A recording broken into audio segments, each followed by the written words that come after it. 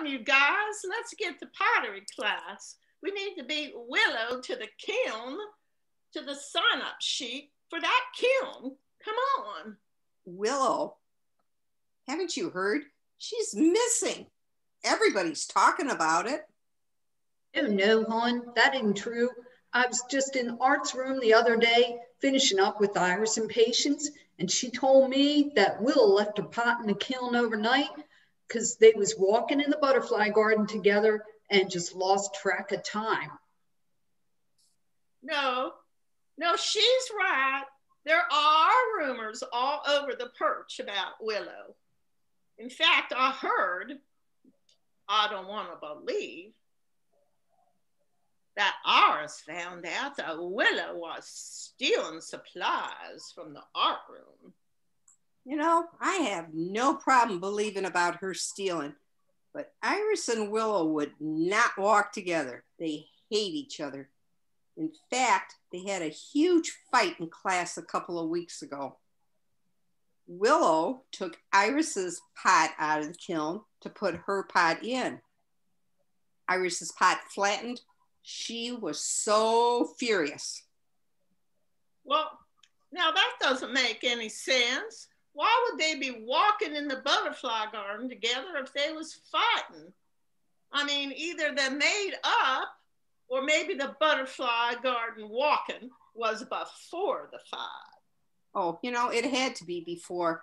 I was out walking my dog and I saw Iris taking Willow's picture over at that bridge. Ew, I never go to that garden. That garden's filled with geckos, hon, and that bridge scares me. It's right over that water pond where they find the alligators in all the time. Mm. Oh my. You don't think that willow fell in that pond and maybe maybe got eaten by alligators, do ya? Or pushed in? That is crazy, you two. Come on, let's just get to class. Wow, that was a very good game. It was a great game. It's so nice without Willow being here calling on every call. She is so darn competitive. Oh, you didn't hear? No one is seeing Willow in weeks. Really? I hate to say this, she probably ran into someone that did her in you know, she finally ticked off that wrong person. Oh, so she argues a lot. That's no reason to kill someone. And besides, no one even knows what happened to her. You know what? I wouldn't be surprised if it was Buck, the bartender.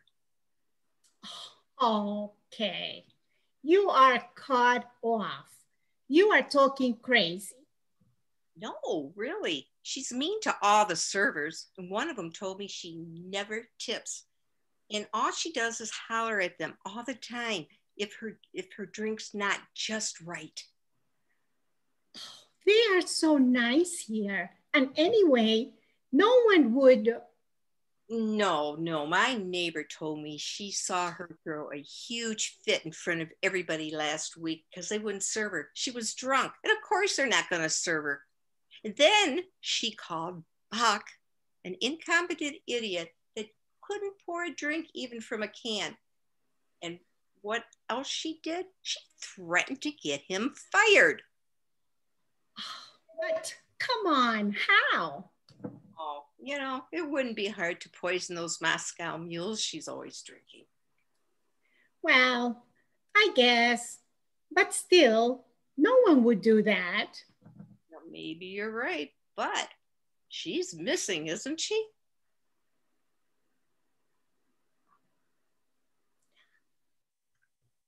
Oh, there's that Benny Buttercup again, trying to impress the women with his tan and, and that Speedo. Well, he's quite the playboy around here, you know? Really? I wish you'd look into some longer swim trunks. Some things you just can't unsee.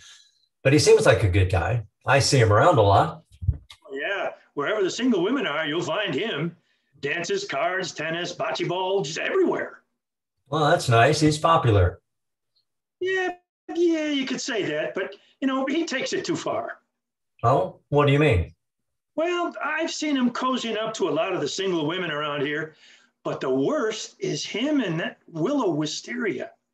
He just follows her around like a puppy dog, opening doors for her, buying drinks for her. Oh, I know Willow. I played pickleball with her. Now that you mention it, I have seen them together at the pool a few times. He was putting sunscreen on her or something. Are they dating? Well, it depends who you ask. If you ask her, she says no.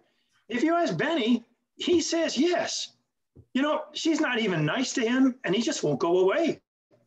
Why, at the dance last month, he was so upset because she brought that young gigolo of hers, and they were all over each other on the dance floor. Well, he was so jealous, he told a friend of mine he would never forgive her betrayal and that she'd be sorry. Wow, really? You live in the Parrot Bay condo neighborhood, don't you? I do.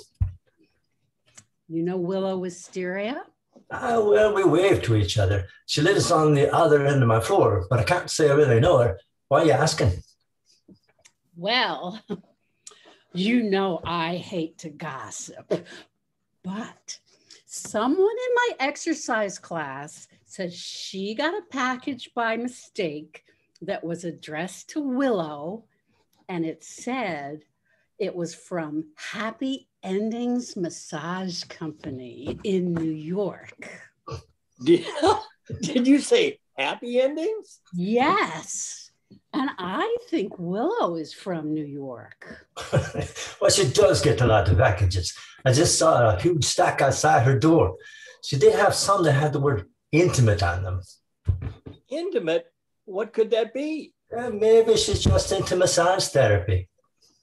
I don't know what she's into, but a lot of people are talking about that woman. That's true. She's single. Mm. And always people, especially men, are around her. At, at the pool and on the dance floor, people were all over each other. Ah, come on, I think you're letting your imagination go wild here. Maybe she runs a massage business out of her house. Nothing wrong with that. Hmm. Well, I don't know. It's a massage business. You, you think she's giving happy endings? I don't know. What if those aren't intimates? Could it be drugs or something illegal? I remember this movie I saw once where they hid the drugs in boxes marked coffee so no one would suspect. I saw that movie too. They were smuggling bearer bonds and precious gems and artwork into the country as well. Hmm. I wonder what she's up to. Oh, be careful crossing the street. Didn't you see the post on Mugbook about that hit and run? Oh, I did. Do you know who was hit or who the driver was? No, but that driver ought to be kicked out of Peacock Perch. All this speeding and running stop signs, it's got to stop. Look what happened. Maybe the driver was a contractor or a delivery person. They're always speeding. Kid who works in the golf shop told me one of the golfers heard the crash and was really upset. He said it's really loud, and then he heard a woman screaming, and the screaming stopped, and the car just drove off. That's horrible. A- a- And nobody saw the car? My neighbor was driving into the subdivision and she said she saw a black limousine speeding out the entrance and then heard an ambulance. Who called the ambulance? I heard it was the coroner's van. Oh my God. The woman was killed? Nobody knows. The server said that special today is an old-fashioned Italian dinner. Get carbonara or linguine with either clams or chicken. Cannoli for dessert. Uh, I ordered you a Chianti. Oh, thanks. mm, tastes like home. I miss New York cuisine. Already? We've only been in Florida a couple of months. Well, hey, did I tell you? I thought I saw somebody the other day from the old neighborhood. No, who? That's the thing. She looks so familiar. Um, I think I've seen her at family events before. You mean family events or the family events? you know what I mean. I think she was a secretary. Oh, I think she's the one who planned all those Christmas parties. I think she even worked for DeBoss. You saw her here? Are you sure? Well, I think so. It looked like her. Um, her name was like a flower or a tree or something like that. Um, didn't she move somewhere? Maybe it wasn't her. I mean, after all, when you're new to some place, you're always looking for familiar things and people. Yeah, maybe it could be her. Yeah, everybody's moving to Florida. Florida's becoming like New York's out. That's true. Uh, let me know if you see her again. I'd really like to see her.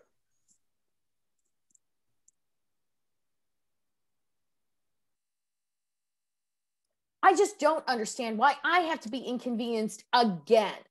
Is this my life now? A drifter? you are the worst FBI handler ever. Yeah, well, Willow, you are no picnic to protect. Uh, you could be a little nicer to everybody, make some friends instead of enemies. I have no idea what you are talking about. I am a delight. I have tons of friends. Really? Look, we track the media in this area and everybody's talking about you. There's a lot of chatter out there about who did you in and how. And it is a long list. No, people are just jealous. That's not my fault. Well, at least keep a low profile this time. I always do. Are you kidding? You should read some of the posts on Mugbook and the Nosy Neighbors app. I never indulge in gossip. Look, you were made somebody found out you were here and they put a hit out on you. You think that was an accident? Well, at least let me go back and get some of my things.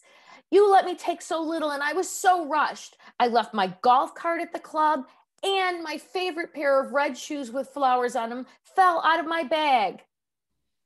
All right, we already took care of the golf cart.